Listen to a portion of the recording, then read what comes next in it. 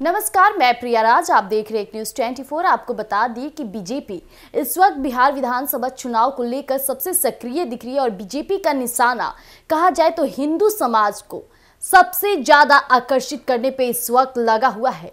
ये कहीं ना कहीं बिहार के मुख्यमंत्री नीतीश कुमार के लिए सबसे बड़े खतरे की घंटी हो सकती है और इन्हीं कारणों की वजह से बिहार के मुख्यमंत्री नीतीश कुमार काफ़ी परेशान नज़र आ रहे हैं।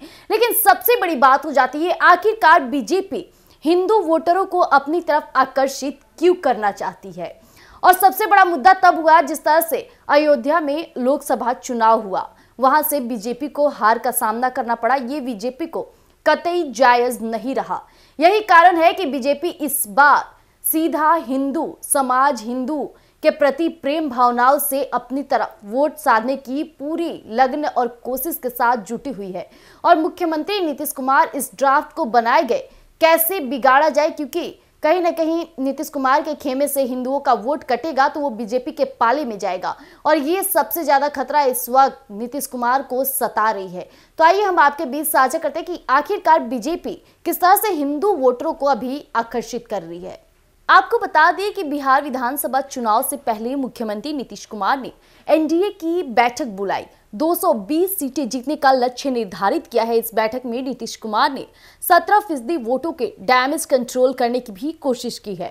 पिछले कुछ समय से नीतीश के सहयोगी बीजेपी के कई नेता हिंदुओं के प्रति विशेष प्रेम दर्शाने की कोशिश में जुटे हुए हैं, जिसके बाद अब नीतीश कुमार ने डैमेज कंट्रोल करने की कोशिश की है।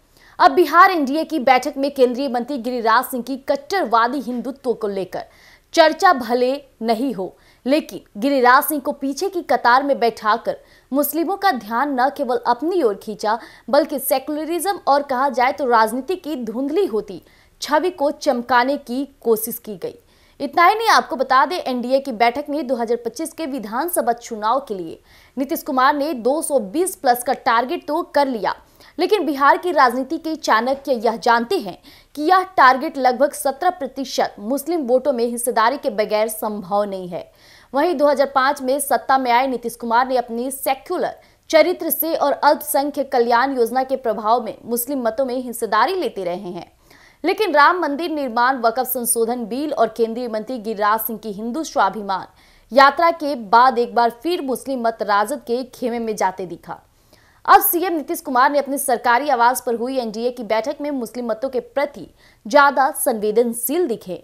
इसलिए तमाम मौजूद एनडीए नेताओं को नीतीश कुमार ने आदिस्मातक स्वर में मुस्लिमों के बीच जाने को कहा।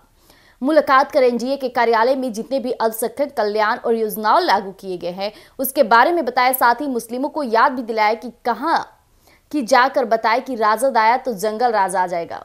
इतना ही नहीं, आपको बता दें, तकरीबन आठ हज़ार कब्रिस्तान की घेराबंदी की गई। आठ ज़िले में आवासीय विद्यालय योजना और बच्चों और बच्चियों के लिए अलग हॉस्टल। वकफ बोर्ड की ज़मीन पर बहुउद्देशीय भवन बनाने की योजना। इस भवन में विवाह भवन भी होगा, मार्केट कॉम्प्लेक्स भी होगा, बैठकर बात करने के लिए हॉल भी होगा। हर जिलों के मदरसों की शुद्ध ली। इसे पुस्तकालय, कंप्यूटर, लैब जैसे संसाधनों से दुरुस्त करना शुरू कर दिया गया। बिहार के अड़तीस जिलों में मुस्लिम छात्रों की चरणबद्ध तरीके से एक आवासीय विद्यालय खोलने का फैसला किया गया है। वहीं आपको बता दें, मुस्लिम छात्रों के लिए कोचिंग योजना के तहत अब पंद्रह छात्रों को लाभ मिला है। इनमें से पाँच छात्रों ने नई प्रतियोगी परीक्षाओं में सफलता प्राप्त की है। तलाकशुदा मुस्लिम महिलाओं के लिए एक मुस्त सहायता राशि दस हज़ार रुपए से बढ़कर पच्चीस हज़ार रुपए कर दी थी। मुख्यमंत्री अल्पसंख्यक उद्यमी योजना के तहत अल्पसंख्यक समुदाय के लोगों को छोटे मोटे उद्योग स्थापित करने का कारोबार शुरू करने के लिए दस लाख रुपए तक ब्याज मुक्त कर्ज दिया जा रहा है। ऋण की राशि 50 प्रतिशत सरकार की ओर से अनुदान देने के साथ ही बच्ची राशि को सात साल तक ब्याज मुक्त रख, रखा जाएगा। उतना ही नहीं आपको बता दें 2004 से 5 में अल्पसंख्यक कल्याण योजना 3.53 करोड़ थी। अब इसमें वृद्धि कर नीतीश कुमार ने इसे एक करोड़ तक पहुँचाया है। यह अल्पसंख्यक कल्याण के बजट में लगभग एक गुना की वृद्धि मानी जा रही है।